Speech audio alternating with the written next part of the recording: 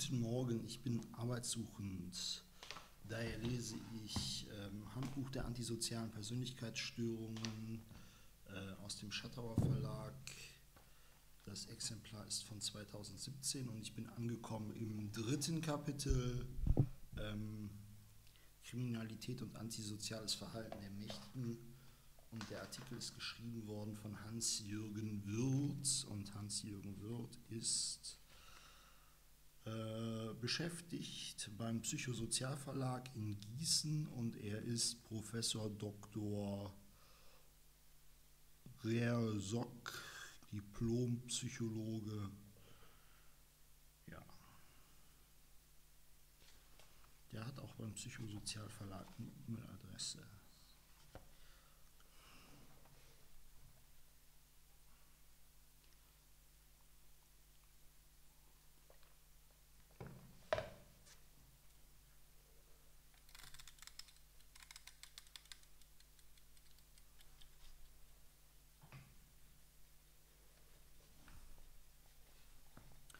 Kriminalität und antisoziales Verhalten der Mächtigen. Antisoziales Verhalten der Mächtigen als Gegenstand der Forschung. Die klinisch-psychotherapeutische, psychiatrische und kriminologische Forschung über antisoziales Verhalten hat sich überwiegend auf die biografische Genese konzentriert und dabei den Zusammenhang zwischen entwicklungspsychologischen Defiziten in der frühen Kindheit und der antisozialen Persönlichkeitsstörung untersucht.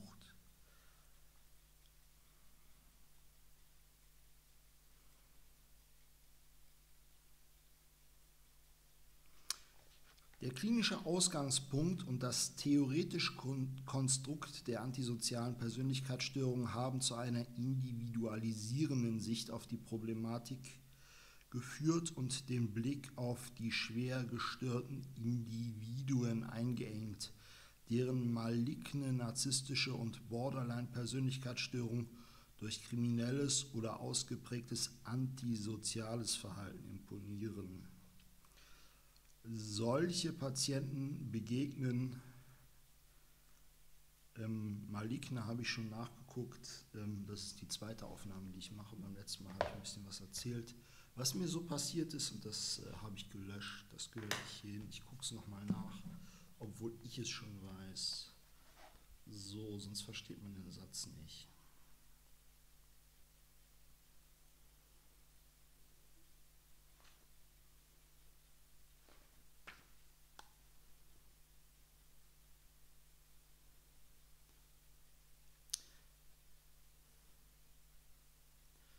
Maligne in fachsprachiger Fügung Malignus nanum, Malignus na, Maligna, Malignum, bösartig, missgünstig, von lateinischem Malignus, äh, bösartig, gefährlich von Gewebsveränderungen, hauptsächlich Tumoren und Krankheiten.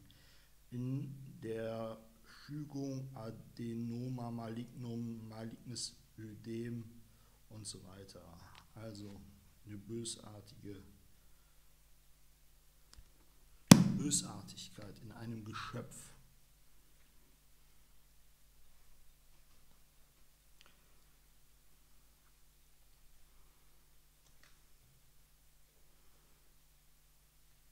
Solche Patienten begegnen im Kliniker vorwiegend in, Psychiat in psychiatrischen Kliniken, in der Forensik und in Gefängnissen. Ein hoher Prozentsatz dieser Patienten entstammt sozialen Randgruppen oder Familien mit gestörtem Beziehungsverhalten. Bei Schwierigkeiten vor dem Hintergrund von Migration können die Grenzen zwischen Opfer und Täter verschwimmen. Relativ wenig Beachtung wurde hingegen dem antisozialen und kriminellen Verhalten der erfolgreichen, etablierten, privilegierten und Mächtigen in Politik, Militär, Wirtschaft, Sport und Gesellschaft geschenkt.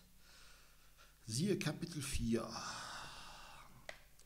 Das hat zunächst damit zu tun, dass in diesen besseren Kreisen antisoziale Haltungen und Handlungen sich in weniger auffälligen Formen äußern als in der Unterschicht, bei der solche Handlungen meist einen impulsiven Charakter haben und von heftigen Affekten und Gewalt begleitet sind. White-Collar-Kriminalität und Korruption finden hingegen im Verborgenen statt. Schreibtischtäter bleiben im Hintergrund und können ihre Mittäterschaft leichter verschleiern.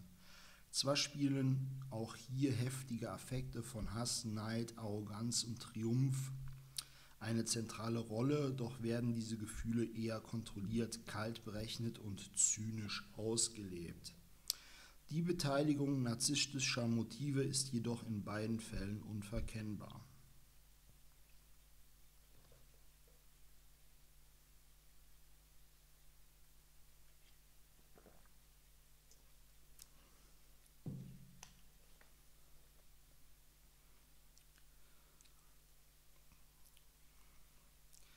Ein weiterer zentraler Unterschied besteht in der sozialen Ausgangssituation. Impulsive Gewalt entsteht in aller Regel vor dem Hintergrund real erlittener Erlebnisse von Ohnmacht, Vernachlässigung, Misshandlung und Missbrauch.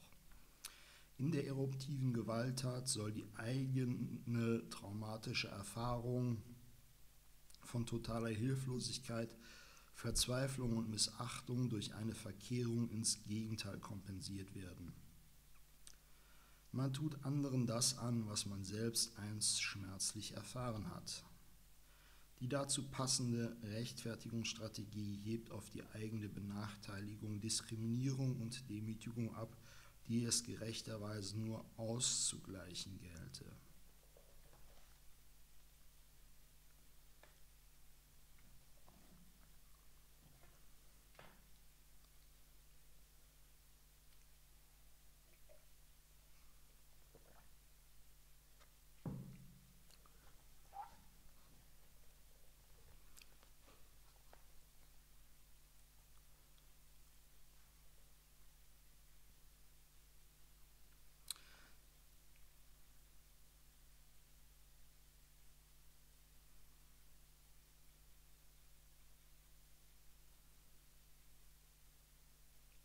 Hingegen entstehen antisoziale, ich muss mal gerade den letzten.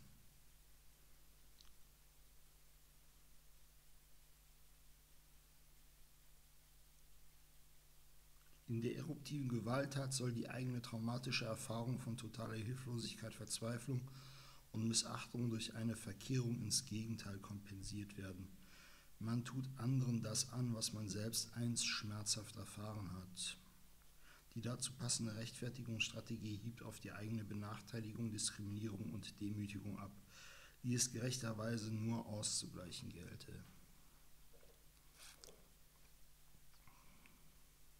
Hingegen entstehen antisoziale Handlungen der Mächtigen und Privilegierten aus einer gänzlich anderen Situation heraus, nämlich der objektiven Möglichkeit, über Machtmittel zu verfügen und dem subjektiven Empfinden wirkmächtig und einflussreich zu sein. Hier geht es also nicht um die Kompensation von Ohnmachtsgefühlen, sondern um die weitere lustvolle Steigerung von Machtgelüsten und Omnipotenzfantasien. Die eigenen Machtbefugnisse werden in vollen Zügen ausgekostet. Die dazu passende Rechtfertigungsstrategie betont die eigene Machtposition, die an sich schon ihrer weiteren Ausdehnung, Ausnutzung oder auch missbräuchlichen Anwendungen legitimiere.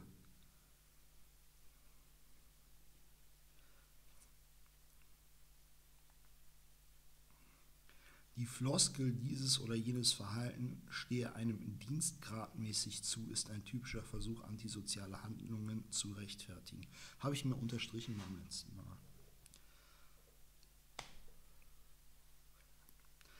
Das antisoziale Verhalten der Mächtigen unterscheidet sich also hinsichtlich Motivation und gesellschaftlicher Ausgangssituation beträchtlich von dem der Unterprivilegierten. Es ist deshalb fraglich, ob kriminelle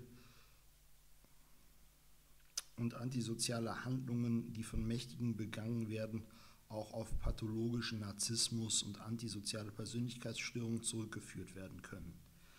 Ein, einen ernsten Hinweis gibt Otto Kernberg, wie er schreibt, findet man, Zitat Anfang, bei narzisstischen Persönlichkeiten aller schwere Grade überraschend häufig antisoziale Züge. Selbst bei denjenigen, die sozial relativ adäquat funktionieren, kann chronisches antisoziales Verhalten in Form von Diebstahl und Ungeregeltheiten in ihrem Beruf oder in ihren sexuellen Aktivitäten ans Licht kommen. Zitat Ende.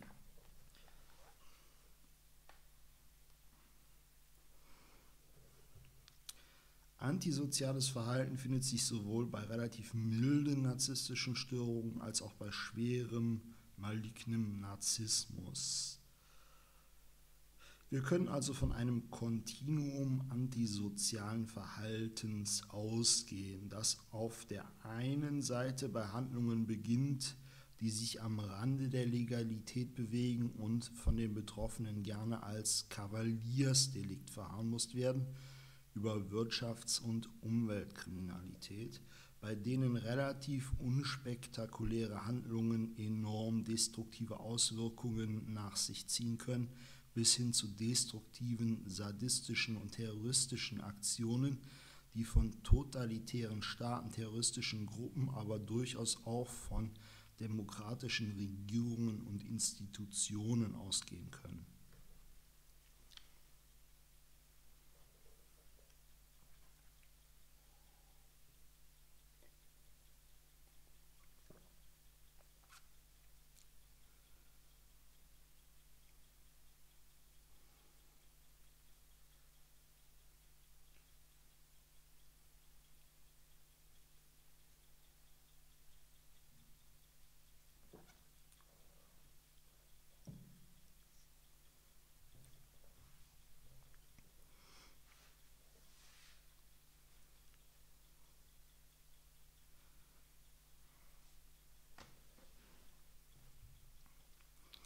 Wie diese verschiedenen Formen und Schweregrade, Schweregrade antisozialer Handlungen mit den besonderen Formen und Schweregraden narzisstischer Persönlichkeitsstörung korrespondieren, ist die zentrale Frage, die hier untersucht werden soll. Vorab kann man schon festhalten, dass der Zusammenhang kein linearer ist, etwa in dem Sinne, je schwerwiegender die antisoziale Handlung, umso gravierender die narzisstische Persönlichkeitsstörung. Die Zusammenhänge sind komplexer, da die antisozialen Handlungen der Mächtigen nicht ausschließlich und primär auf die handelnden Subjekte zurückgeführt werden können, sondern ganz wesentlich durch die Gruppe, die Institution, die Organisation bestimmt werden und deren Teil das Individuum ist. Muss ich nochmal lesen.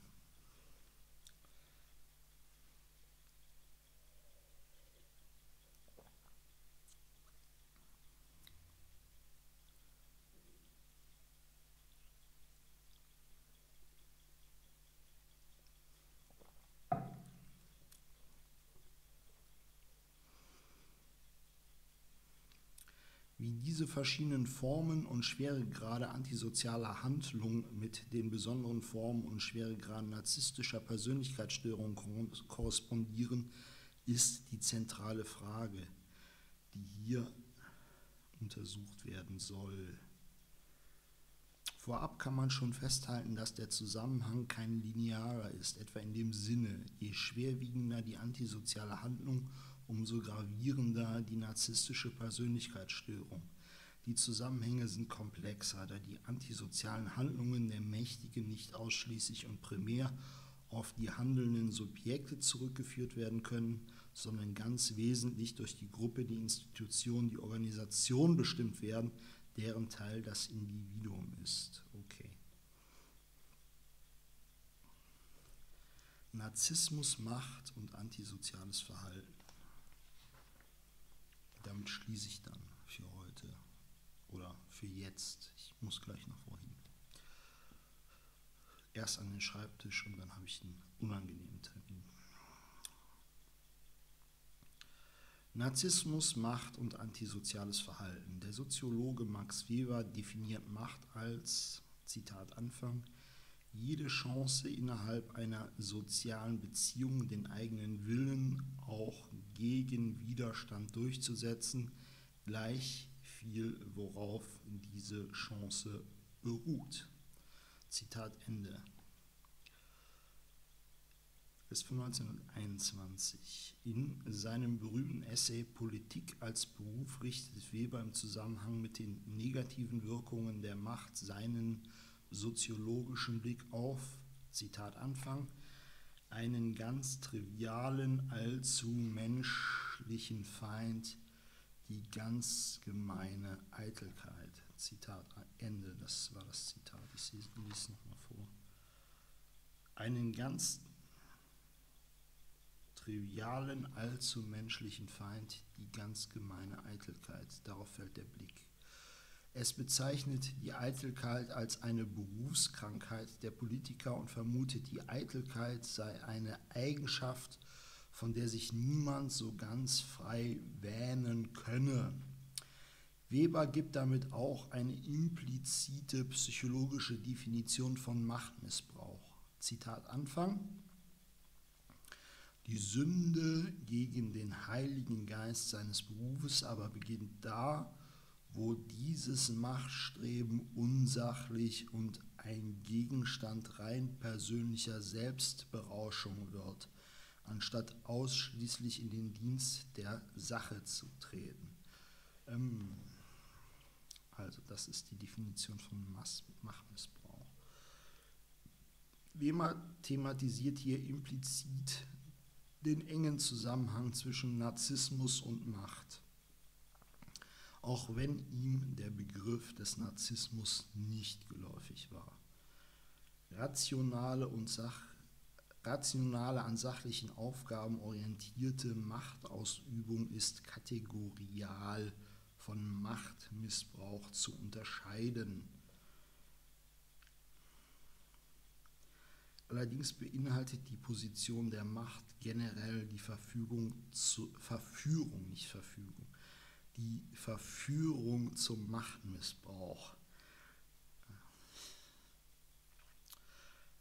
Was sind die Erfahrungen der letzten Monate, die hier aus mir sprechen? Das heißt, zum Ausagieren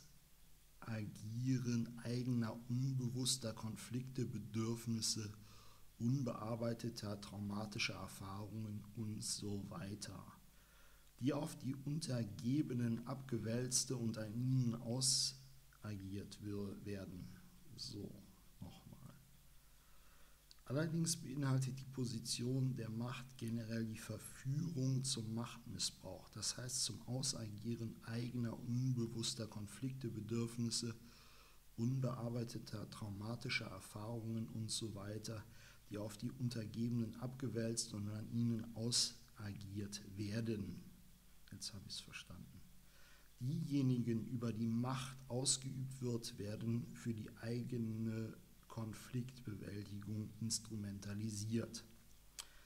Das zentrale Charakteristikum von Macht, nämlich die Möglichkeit, andere zu einem bestimmten Verhalten zu veranlassen, veranlassen zu können, also die Möglichkeit, das zentrale Charakteristikum von Macht, nämlich die Möglichkeit, andere zu einem bestimmten Verhalten veranlassen zu können, auch wenn dies nicht ihrem Willen entspricht, führt dazu, dass diese Form der Instrumentalisierung und Funktionalisierung der Untergebenen durch die Mächtigen häufig ausgeübt wird.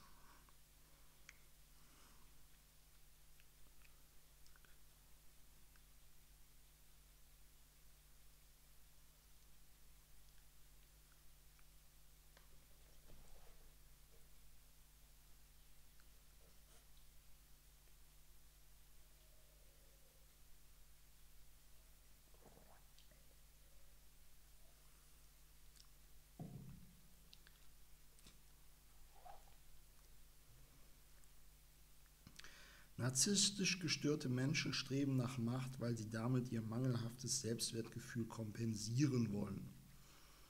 Umgekehrt nährt die Möglichkeit, Macht auszuüben, Größen und Allmachtsfantasien. Macht wirkt wie eine Droge. Die Selbstzweifel verfliegen, das Selbstbewusstsein steigt. Für Personen mit einer antisozialen Persönlichkeitsstörung gilt dies in besonderem Maße.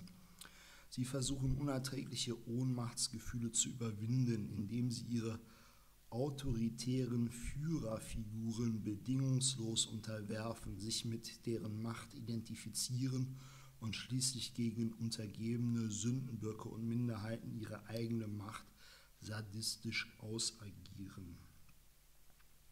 Die Frage, ob narzisstische Menschen in besonderem Maße nach Macht streben oder umgekehrt die Ausübung von Macht die Entwicklung narzisstischer Persönlichkeitseigenschaften begünstigt und befördert, gleich der Frage nach Henne und Ei. Es trifft beides zu. Beide Prozesse bedingen und verstärken sich wechselseitig. Da zitiert er sich selbst.